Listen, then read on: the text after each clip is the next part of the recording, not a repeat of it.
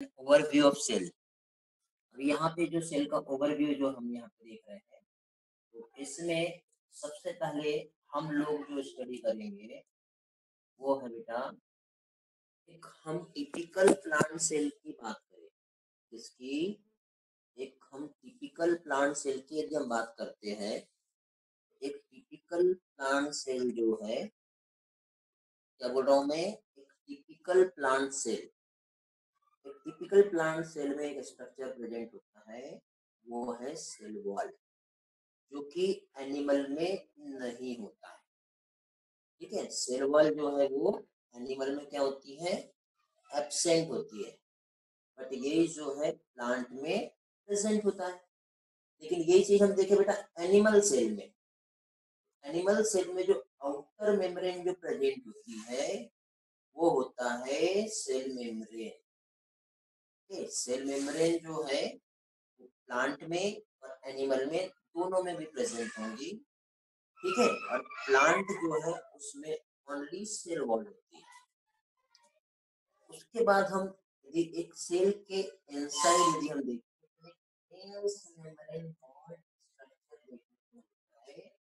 जो कहलाता है न्यूक्लियस ठीक? चीज़ एक डेंस बॉडी देखने को मिलती है, वो कहलाता है न्यूक्लियस। ओके? और न्यूक्लियस जो होता है, ये होता है मेम्ब्रेन बॉन्ड ऑर्गेनल्स प्रेजेंट है। मेम्ब्रेन, लाइक एक body present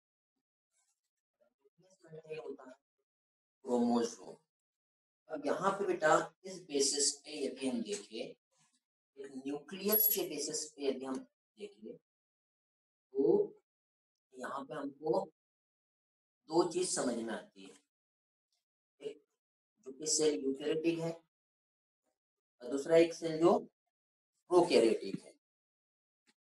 eukaryotic and prokaryotic cell का यदि हम डिफरेंस देखें यूकेरेटिक और प्रोकैरियोटिक सेल जो है, इसमें दोनों में भी जो डिफरेंस जो होता है, वो होता है बेटा न्यूक्लियस की वजह से। मींस जो प्रोकैरियोटिक सेल है और एक यूकैरियोटिक सेल प्रो मीन्स होता है प्रिमिटिव और यू मीन्स होता है ट्रू या फिर वेल डिफाइंड प्रोकैरियोटिक सेल एक ऐसा सेल जिसमें प्रिमिटिव टाइप का न्यूक्लियस प्रेजेंट होगा, वो क्या लगेगा? प्रोकैरियोटिक और यूकैरियोटिक सेल एक ऐसी सेल है जिसमें well developed nucleus present okay अभी यहाँ पे मैं आप लोगों को यूकेरेटिक और यूकेरेटिक में बेसिक सा डिफरेंस जो है, वो मैं आप लोगों को बताऊँगा ओके? यूकेरेटिक और यूकेरेटिक में जो बेसिक सा जो डिफरेंस है यदि हम देखें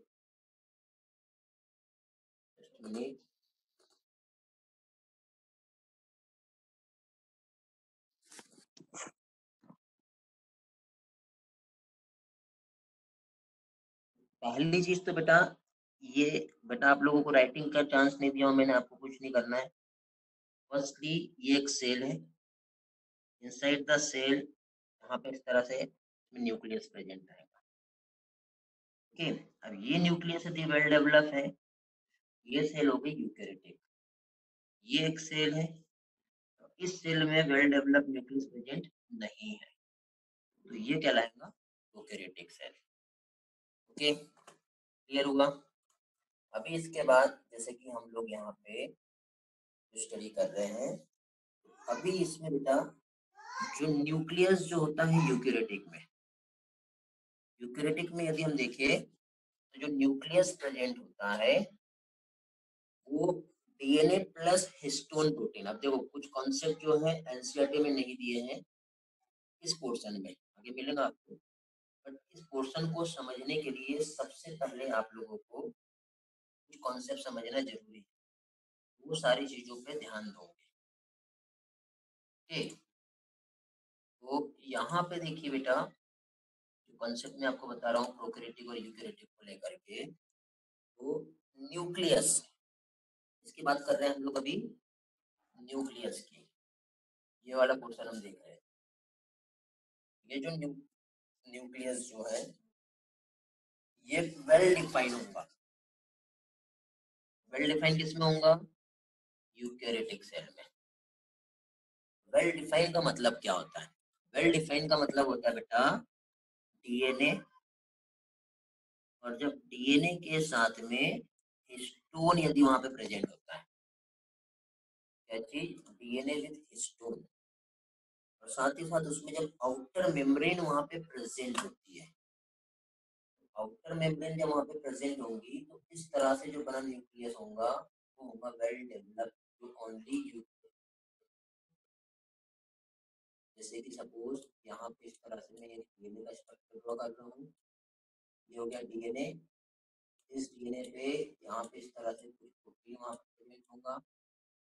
ये हो गया histone protein DNA plus histone protein दोनों भी मिलकर फॉर्म करता है क्रोमेटिन क्या कहलाएगा ये? क्रोमेटिन और जब ये क्रोमेटिन आपस में जब कंडेंस्ड होगा जब ये क्रोमेटिन आपस में जब कंडेंस्ड होगा, एक रेड लाइट इस तरह से कंडेंस्ड बॉडी सेल के अंदर देखने को मिलेगी, जो कहलाता है क्रोमोसोम ओके अगेन मैं रिपीट कर रहा हूँ। क्या बताया मैंने आप लोगों को, अभी मैं आप लोगों को प्रोक्यूरेटिक सेल और यूक्यूरेटिक सेल में बेसिक डिफरेंस क्या होता है, ये बता रहा हूँ। ओके और यूक्यूरेटिक में जो बेसिक डिफरेंस जो है, ठीक है जस्ट मिनट व्हाइट बोर्ड में आपसे शेयर करूँगा। इस व्हाइट बोर्ड में यहाँ पे हम लोग जो है जो देखेंगे अभी यूकेरेटिक और यूकेरेटिक जो इसमें क्या डिफरेंस है तो देखिए बेटा, यहाँ पे ये हो गया क्रोमोजोम क्रोमोजोम के साथ ही साथ यहाँ पे बेटा इसमें प्रेजेंट है इस तरह से एक स्ट्रक्चर ये कहलाएगा प्रोटीन तो सॉरी हाँ ये क्या हो गया डीएनए डीएनए के बाद ये आ गया यहाँ पे प्रोटीन तो डीएनए प्लस प्रोटीन जो है, ये दोनों भी जब ज्वाइन होंगे, तब फॉर्म होगा क्या चीज़? क्रोमेटिन ओके और क्रोमेटिन जब आपस में इस सेल में इस तरह से जब कंडेंस्ड हो जाएगा फॉर्म होता है तो वो कहलाता है क्रोमोजोम क्या कहलाएगा ये? क्रोमोजोम कहलाएगा। ओके क्लियर हुआ इतना पार्ट आप लोगों का। ठीक। अब हम आगे देखेंगे नेक्स्ट पोर्शन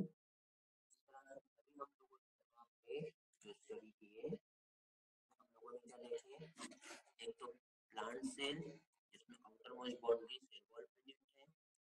एनिमल में ओनली सेल मेंटेन होती है सेल वॉल नहीं होती है।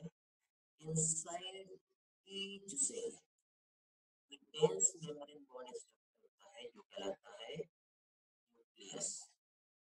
न्यूक्लियस कंटेन होता है क्रोमोसोम वो जो है दो बड़ा आपको दिखाई दे रहा बेटा तो क्रोमा क्रोमा मींस होता है क्रोमोसोम मींस होता है बेटा बॉडी ओके क्रोमोसोम कैसे फॉर्म हुआ था बताओ? जब डीएनए डीएनए के साथ बॉन्डेड होगा प्रोटीन तो फॉर्म करेगा क्रोमेटिन प्रोटीन के बाद फिर कंडेंस्ड हो जाएगा। तब फॉर्म होगा क्रोमोसोम क्रोमोसोम में क्रोमा एंड जोमा दो वर्ड से मिला हुआ है पार्ट है।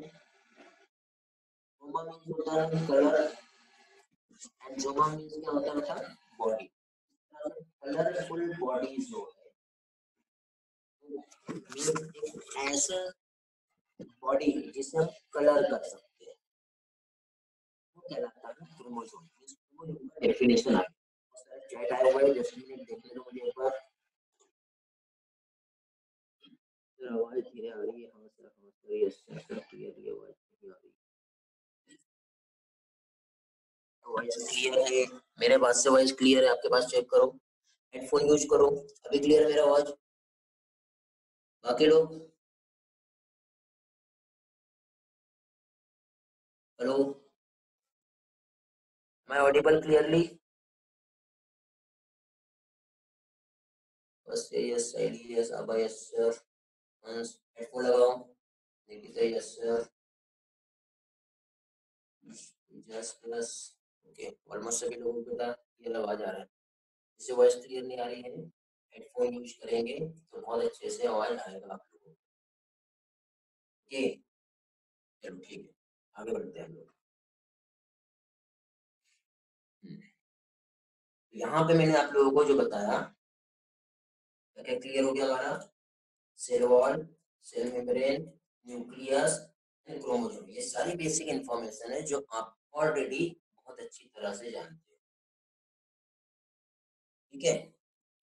इसके बाद नेक्स्ट बेटा, देखिए, ये सारा कंटेंट एनसीईआरटी का लिया हुआ है और एनसीईआरटी को ही मैं बहुत अच्छी तरह से समझा आगे देखिए, ये जो क्रोमोसोम है it turn contain the genetic material जो होगा डीएनए तो अब एनसीईआरटी ने क्या बताया बेटा? एक सेल वॉल है, उसके अंदर एक सेल प्रेजेंट होगा सेल मेम्ब्रेन है, फिर इनसाइड में न्यूक्लियस है, उसके अंदर क्रोमोसोम है। क्रोमोसोम जो है वो डीएनए से बना हुआ है। इस तरह से यहाँ बताया ओके अब आगे हम लोग देख रहे हैं कि ऐसी सेल जिसमें मेम्ब्रेन बॉन्ड न्यूक्लियस प्रेजेंट नहीं होते जिसमें नहीं होती जिसमें होते वो क्या होगा? यूकैरियोटिक जिसमें नहीं होता है मेम्ब्रेन बॉन्ड न्यूक्लियस वो क्या कहलाएगा? प्रोकैरियोटिक ओके यहाँ पे मैं आपको क्रोमोसोम जो बता रहा था क्रोमोसोम मतलब हम इससे बेटा स्टेनिंग कर सकते हैं। स्टेनिंग करने के बाद हम देख सकते हैं। जैसे एसिटोकार्बिन होता है इमेटोजाइलोन होता है बेसिक फूसिन होता है, वो स्टेन है। इस स्टेन से जब हम स्टेनिंग करते हैं, तब हमको क्रोमोसोम जो है दिखाई देता है। मतलब एक ऐसा बॉडी जिसे हम कलर कर सकते हैं। क्योंकि हम माइक्रोस्कोप में जब न्यूक्लियस के इनसाइड में क्रोमोसोम को जब हम देखेंगे डायरेक्टली हमको दिखाई नहीं देगा वो। उसको देखने के लिए सबसे पहले हमें उससे स्टेनिंग करना पड़ेगा। और जब हम उसे स्टेन करेंगे, तब जाके ही वो हमें क्लियरली विजुअलाइज हो पाएगा। ओके ये वाला स्लाइड क्लियर है सभी लोगों का? अभी कुछ लोगों से क्वेश्चन पूछता हूँ जल्दी से रिस्पॉन्स करेंगे। अब हाँ क्या होता है क्रोमोजोम बताओ जल्दी से। सर क्रोमोसोम टू वर्ड से बना होता है क्रोमा और सोम क्रोमा मतलब कलर होता है और सोम मतलब बॉडी होती है। क्रोमोसोम मतलब होता है colourful body very good Dushyant आप बताओगे? Again same question Dushyant class में हो बेटा?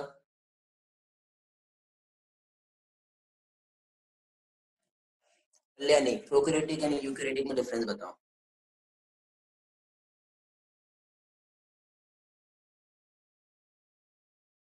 कल्याणी सुन पा रहे हो मुझे?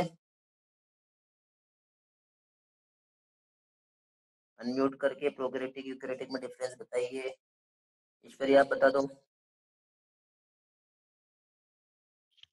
सर यूकैरियोटिक सेल्स मतलब जिसमें मेम्ब्रेन बॉन्ड न्यूक्लियाई होता है और प्रोकैरियोटिक मतलब जिसमें मेम्ब्रेन बॉन्ड न्यूक्लियाई नहीं होता है और प्रोकैरियोटिक मींस प्रिमिटिव सेल्स होता है और यूकैरियोटिक जो टू सेल्स होता है मतलब टू न्यूक्लियाई या फिर primitive nuclei okay very good चलो ठीक, आगे बढ़ते हैं हम लोग। तो उससे बोल रहा है नेटवर्क प्रॉब्लम ओके कोई प्रॉब्लम नहीं। चलो, आगे बढ़ते हैं हम लोग। नेक्स्ट पार्ट हम जाते हैं अभी। तो नेक्स्ट जो है बेटा, अभी यहाँ पे हम लोग जो देख रहे हैं अब प्रोकेरेटिक और यूकेरेटिक जो है, ठीक है? इसमें हम लोगों ने डिफरेंस देखे। मींस प्रोकेरेटिक है तो इसमें ओनली डीएनए होगा, ना तो मेम्ब्रेन होंगी, ना ही प्रोटीन होगा। किसमें बेटा? न्यूक्लियस में। प्रोकैरियोटिक का जो न्यूक्लियस है, उसमें ना तो मेम्ब्रेन है, ना ही प्रोटीन है ओनली डीएनए है। मींस वो क्या हो गया बच्चा प्रोकैरियोटिक क्या हो गया ये? प्रोकेरेटिक प्रोकैरियोटिक का एग्जांपल बताएँगे प्रोकैरियोटिक का example bacteria sir prokaryotic organism जितने भी जो किंगडम मोनेरा है ठीक है? आरिफ विटेकर का क्लासिफिकेशन यदि हम देखें तो उसने फाइव किंगडम में क्लासिफाई किया है। हम लोग बायोलॉजिकल क्लासिफिकेशन पढ़ेंगे। वहाँ पे मैं आप लोगों को बताऊँगा। जो आर एच विटेकर है उन्होंने ऑर्गेनिजम्स को फाइव किंगडम में क्लासिफाई किया है, जिसमें फ़र्स्ट आता है मोनेरा। मोनेरा के बाद आता है प्रोटिस्टा इस तरह से जो फाइव किंगडम है, जिसमें मोनेरा जो है, मोनेरा से बिलोंग करने वाले जितने भी मेंबर होंगे, वो सारे के सारे प्रोक्यूरेटिक है। प्रोक्यूरेटिक के साथ ही साथ एक होता है यूनिसेलुलर और मल्टी यूनिसेलुलर मीन्स ऐसे ऑर्गेनिजम्स जिसमें ओनली सिंगल सेल प्रेजेंट होती है। कल हम लोगों ने देखे थे। मल्टी सेलुलर मीन्स ऐसे जिसमें more than one cell present होती है। ओके फिर अब हम यहाँ पे देखिए नेक्स्ट जो है प्रोकैरियोटिक एंड यूकैरियोटिक सेल की हम बात करें। प्रोकैरियोटिक और यूकैरियोटिक सेल जो है, इसमें एक सेमी फ्लूइड मैट्रिक्स प्रेजेंट होता है। स्लाइड पे देखोगे? सेमी मैट्रिक्स जो कहलाता है साइटोप्लाज्म अब एक क्वेश्चन है मेरा साइटोप्लाज्म और प्रोटोप्लाज्म जो है, इसमें डिफरेंस क्या है? अमृता यस बताएँगे। साइटोप्लाज्म एंड प्रोटोप्लाज्म जो है, इसमें क्या डिफरेंस है?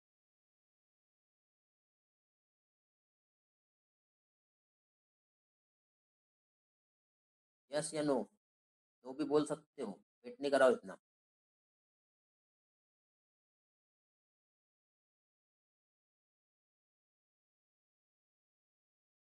डोंट नो तेजस, नहीं पता सर। देखिए बेटा साइटोप्लाज्म और प्रोटोप्लाज्म में जो डिफरेंस है, वो ये है कि एक सेल में इनसाइड द सेल जो प्रेजेंट होता है, जो सेमी फ्लूड मैट्रिक्स है, वो कहलाता है साइटोप्लाज्म और इनसाइड द न्यूक्लियस भी एक फ्लूड प्रेजेंट होता है। वो होता है न्यूक्लियोप्लाज्म न्यूक्लियस प्लस साइटोप्लाज्म दोनों को यदि हम कंबाइन कर ले, बनता है जो फ्लूड वो कहलाता है प्रोटोप्लाज्म बहुत बेसिक से इंफॉर्मेशन है, आपको मालूम होना चाहिए। न्यूक्लियस को हटा देंगे, बचेगा साइटोप्लाज्म। और वो किसी भी सेल के वॉल्यूम जो होता है, उसको ऑक्यूपाई करता है। क्लियर हुआ? साइटोप्लाज्म जो है, वो सेल के वॉल्यूम को ऑक्यूपाई करता है। मेरा। रिपीट कर रहा हूँ मैं। देखिए बेटा, कि ये सेल है और सेल के इनसाइड में ये न्यूक्लियस है। यहाँ पे जो सब्सटेंस प्रेजेंट होगा ये हो गया साइटोप्लाज्म इनसाइड द न्यूक्लियस जो प्रेजेंट होगा, ये कहलाएगा न्यूक्लियोप्लाज्म इन दोनों को यदि हम जोड़ दें तो बोलेंगे हम प्रोटोप्लाज्म न्यूक्लियस को यहाँ से हम हटा दें तो जो रिमेनिंग बच्चा वो कहलाएगा साइटोप्लाज्म क्लियर हुआ मेरा? बाकी लोगों को क्लियर हुआ? यस नो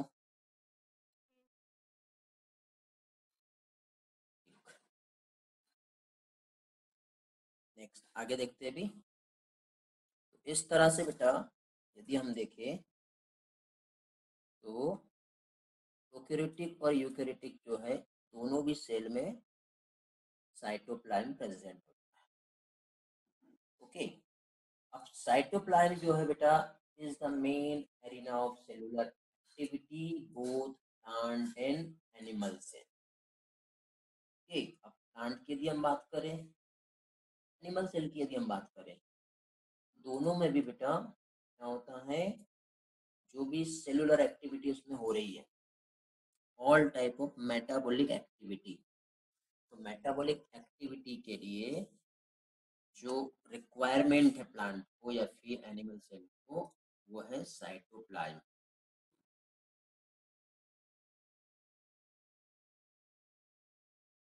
क्या बोल रहे बेटा? Protoplasm colourless material which contains cytoplasm and other organelles very good cytoplasm water in which many organelles and substances are suspended very good बेटा सही आंसर जा रहे हैं वहीं पर okay. आगे देखिए बेटा वेरियस केमिकल रिएक्शन जो हो रहा है लिविंग स्टेज में वो साइटोप्लाज्म की वजह से होता है इसके आगे हम नेक्स्ट पोर्शन जो है उस पर हम आएँगे ठीक है इसमें बेटा नेक्स्ट सेल का एक ओवरव्यू हम देख रहे हैं यूकेरेटिक सेल की हम बात करेंगे। ओके यूकेरेटिक सेल जो है बेटा, ऐसी सेल जिसमें डिफरेंट टाइप के membrane bound cell organelles present ये ऐसे नहीं समझ में आएगा, मैं आपको व्हाइट बोर्ड शेयर कर रहा हूँ। ओके उसके थ्रू आपको बताऊँगा। वेट देखिए यहाँ पे हम लोग एक यूकेरेटिक सेल की बात करते हैं तो यूकेरेटिक सेल को भूल जाइए थोड़ी देर के लिए आप लोग। ठीक है? यूकेरेटिक सेल जो है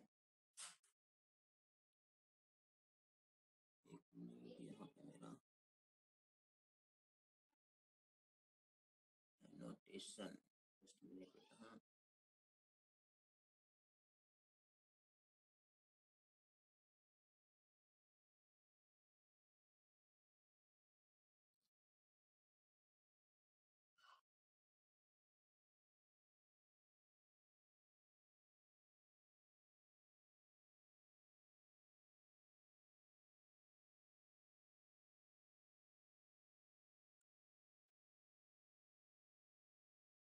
ओके मैं यहीं पे बता रहा हूँ ये नहीं हो रहा है। ओके तो मैं क्या बता रहा था आप लोगों को?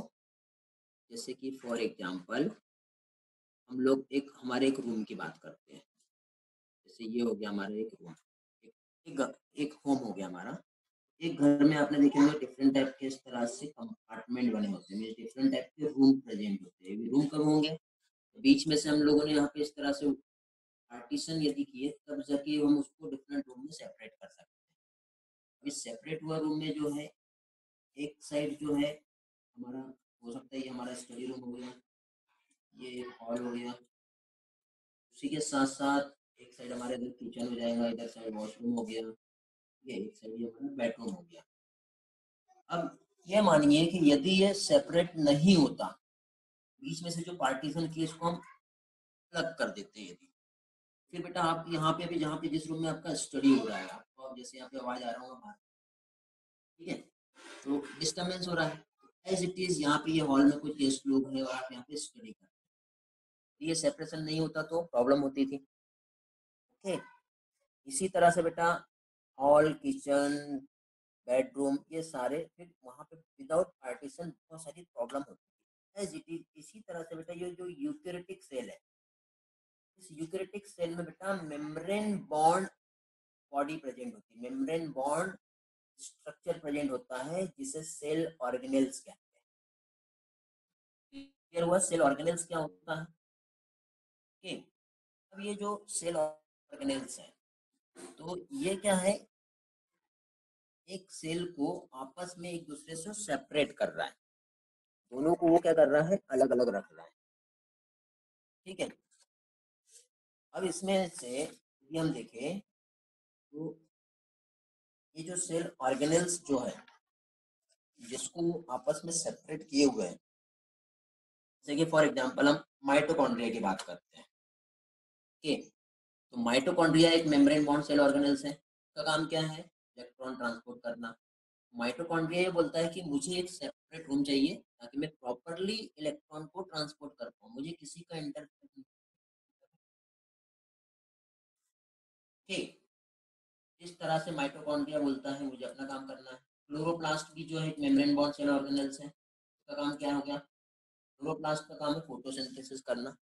फोटोसिंथेसिस करना है तो उसको बेटा डार्क और लाइट रिएक्शन दोनों अलग अलग करनी होंगी, दोनों के एंजाइमेटिक मशीनरी अलग होंगी। एक दूसरे का डिस्टर्बेंस भी नहीं चाहिए। एक जगह से ऑक्सीजन रिलीज़ हो रहा है तो फ़ोटो ऑक्सीडेशन हो सकता है। इसलिए वो बोलता है कि मुझे भी मेम्ब्रेन चाहिए, ताकि मैं अपना काम बॉडी का कहना यह है कि मुझे भी मेम्ब्रेन चाहिए, क्योंकि जो प्रोटीन मैं बना रहा हूँ, उन प्रोटीन को एंजाइम में कन्वर्ट करना पड़ेगा। एंजाइम में जब मैंने कन्वर्ट किया तो एंजाइम जो है कैटलिस्ट होते हैं। कहीं भी आपकी यदि उसमें काम कर रहा है तो सेल का जनरल इस तरह से जो मेम्ब्रेन बॉन्ड सेल ऑर्गेनल्स हैं, इसमें क्या क्या आते हैं बेटा? एक तो एंडोप्लाज्मिक रेटिकुलम हो गया गोल्जी बॉडी हो गया लाइसोसोम हो गया माइटोकॉन्ड्रिया है माइक्रोबॉडी है वैक्यूल्स है। ये सारे जो है स्ट्रक्चर जो सेल में प्रेजेंट होते हैं, ये मेम्ब्रेन बॉन्ड सेल ऑर्गेनल्स है। ओके चलो, अब मुझे बताओगे राइबोसोम जो है मेम्ब्रेन बॉन्ड सेल ऑर्गेनल्स है या फिर नहीं है? दुष्यंत वॉइस में बताओ या फिर चैट में बताओ? हर्ष, कल्याणी तीसा राइबोसोम मेम्ब्रेन बॉन्ड नहीं है नहीं अमृता कह रही है नहीं है। बाकी चैट पे या वॉइस में बताएँगे जल्दी से। क्वेश्चन नहीं है बोल रहा है। Sir non membrane bound organelles नहीं है। नहीं है ओके ठीक। Non membrane bound very good centrioles second question centrosome centrosome membrane bond है या नहीं है? सेंट्रोसोम पढ़े हो आप लोग? Centrosome non membrane bound okay very good अब देखिए ये क्यों नॉन मेम्ब्रेन बॉन्ड है? राइबोसोम ये कहता है कि मुझे मेम्ब्रेन नहीं चाहिए। मेरा काम क्या है? मैं तो प्रोटीन बनाना है वो तो मैं कहीं पे भी बना दूँगा। प्रोटीन की ज़रूरत तो हर कहीं पे भी है। ओके अब इस तरह से बेटा जो स्पेशल फ़ंक्शन को परफॉर्म करना है तो स्पेशल फ़ंक्शन के परफॉर्म के लिए मेम्ब्रेन बॉन्ड ऑर्गेनल सेल में प्रेजेंट है। प्रोकैरियोटिक सेल जो होती है बेटा, यहाँ पे membrane bond cell organelles present नहीं होते।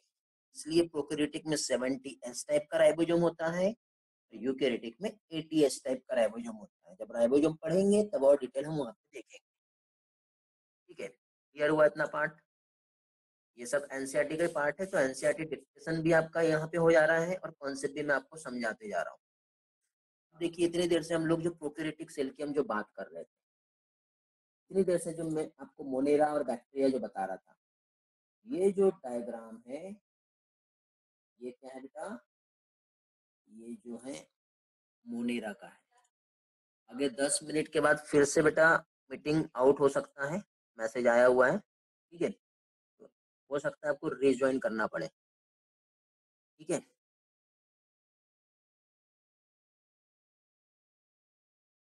लोग समझ गए क्या? चलो, आगे बढ़ते हैं। पहले हम ये स्ट्रक्चर को समझ लेते हैं। पहली चीज़ तो बेटा ये बैक्टीरिया का एक स्ट्रक्चर हमें दिखाई दे रहा है।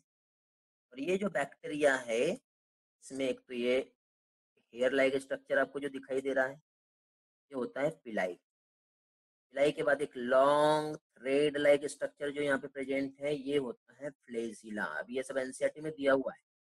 ओके आगे चल के इनका हम डिटेल में पढ़ेंगे। अभी सिर्फ़ डायग्राम को समझ लो कहाँ पर क्या क्या चीज़ें है। उसके बाद बेटा आउटर मोस्ट एक लेयर प्रेजेंट होती है। ये कहलाता है कैप्सूल बैक्टीरिया में भी सेल वॉल प्रेजेंट होती है। प्लाज्मा मेम्ब्रेन होती है। राइबोसोम होता है। और बैक्टीरिया में जो न्यूक्लियस प्रेजेंट होता है, उसको न्यूक्लियोइड कहते हैं। कहते हैं इसे? न्यूक्लियोइड। ओके, चलो नेक्स्ट इस पे हम जाते हैं। ये बैक्टीरिया का हमने डायग्राम देखे।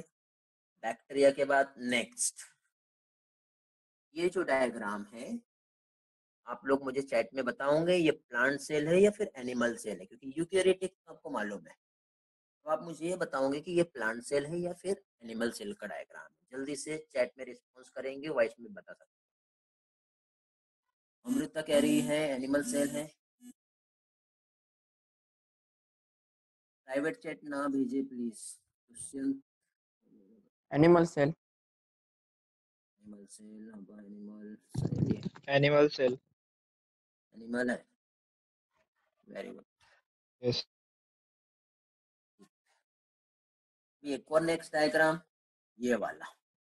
ये क्या है? प्लांट सेल दोनों में क्या डिफरेंस है बेटा? देखो यहाँ पे सेल वॉल है। सेल वॉल जो प्रेजेंट है तो इस सेल वॉल में देखो यहाँ पे डॉट डॉट डॉट स्ट्रक्चर आपको यहाँ पे दिखाई दे रहा होगा।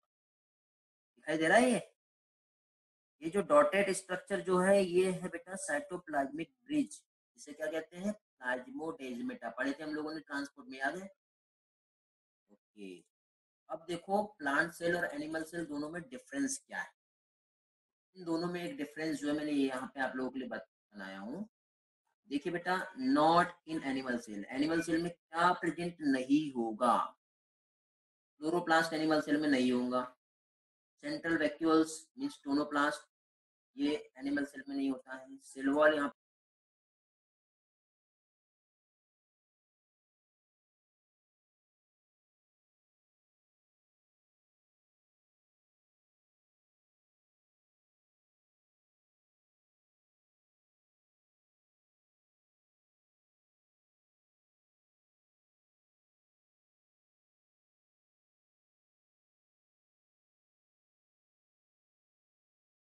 प्लांट सेल है।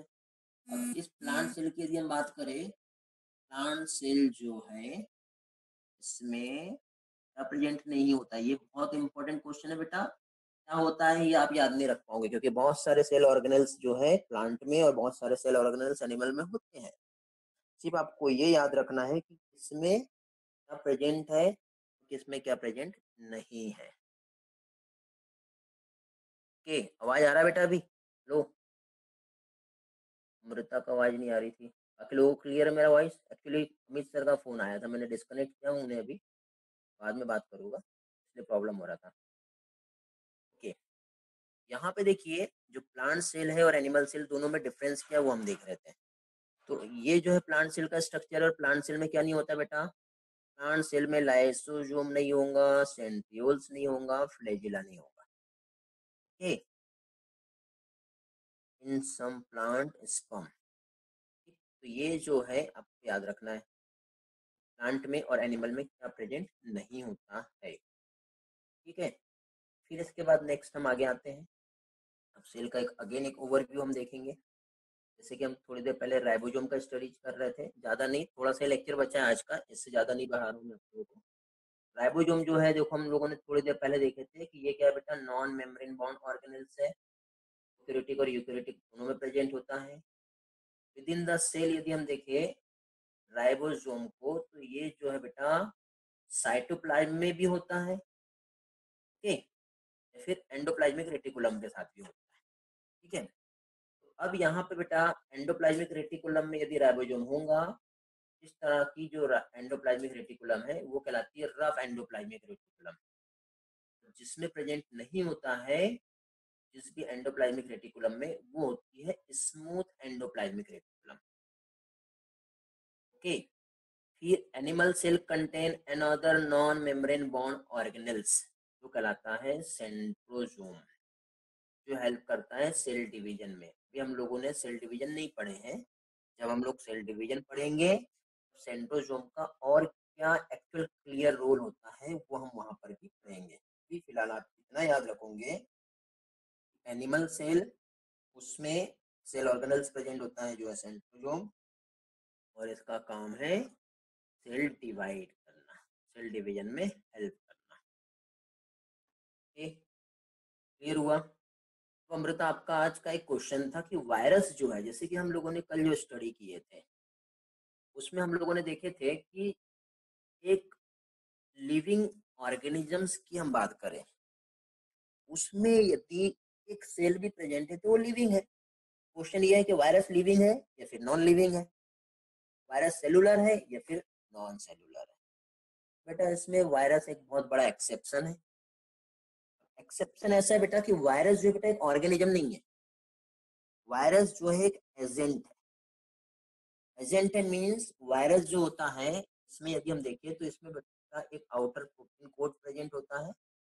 इनसाइड उसका जेनेटिक मटेरियल या तो डीएनए या फिर आरएनए कुछ भी हो सकता है। इस तरह से बना एक बॉडी है, जो कहलाता है न्यूक्लियो प्रोटीन इस तरह से बेटा वायरस जो है, ये सेलुलर स्ट्रक्चर है। सेल के बाहर रहा तो non living inside the cell रहा तो ये रहेगा लिविंग बेटा सेल थ्योरी का कहना क्या है कि कोई एक लाइफ यदि प्रेजेंट लिविंग है, यदि कोई सेल वो या फिर कोई ऑर्गेनिज्म लिविंग है, वो कब कहलाएगा? जब उसमें एक सिंगल सेल प्रेजेंट होंगी बट वायरस में सेल तो है ही नहीं, उसके बाद भी लिविंग सबसे बड़ा एक्सेप्शन है सेल थ्योरी इस बात को प्रूफ नहीं कर पाई अभी।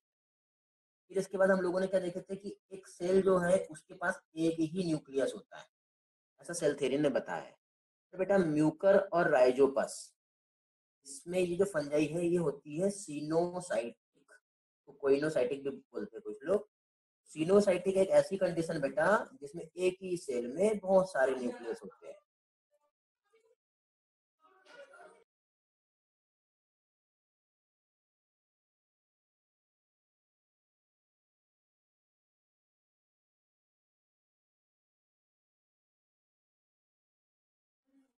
Okay okay. हमने क्या देखे बेटा यहाँ पे? सीनोसाइटिक हम लोगों ने देखे। प्रोटोजोआ जो है, जो होता है बेटा, इसमें सब सेलुलर डिफ्रेंसिएशन देखने को मिलता है। जैसे अमीबा पैरामिशियम देखें, उसमें बेटा एक एक सेल जो है, उस डिफ्रेंसिएशन देखने को मिलता है।